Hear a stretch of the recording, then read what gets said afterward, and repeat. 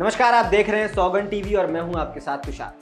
विवेक अग्निहोत्री की हालिया release film the vaccine war box office पर कुछ खास प्रदर्शन नहीं कर पाई।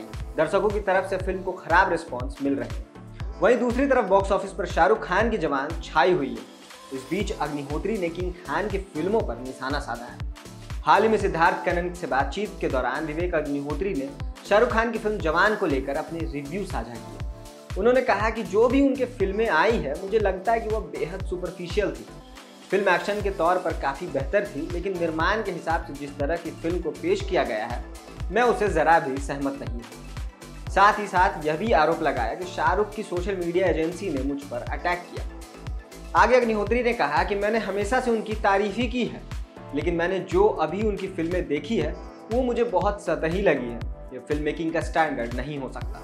वो इसे बेहतर कर सकते हैं। बता दें कि 28 सितंबर 2023 को विवेक अग्निहोत्री की film the vaccine war release हुई। थी द कश्मीर फाइल्स के मुताबिक इस फ़िल्म को इतना खास रिस्पॉन्स नहीं मिल रहा है।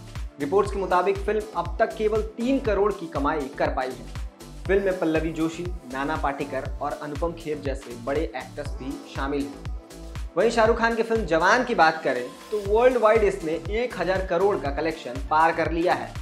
वहीं देश में जवान अब तक 600 करोड़ का आंकड़ा पार कर चुकी है। इसी के साथ ये फ़िल्म हिंदी सिनेमा में अब तक सबसे ज़्यादा कमाई करने वाली फ़िल्म बन चुकी है। बता दें कि जवान के बाद शाहरुख खान अब अपनी अगली फ़िल्म डंकी में भी नज़र आने वाले हैं, जो कि 22 दिसंबर 2023 को सिनेमा घरों में रिलीज़ होगी। अब कैसी लगी हमारी वीडियो, कमेंट कर कर ज़रूर बताएँ और ऐसी तमाम खबरों के लिए देखते रहें सौगन टीवी। धन्यवाद।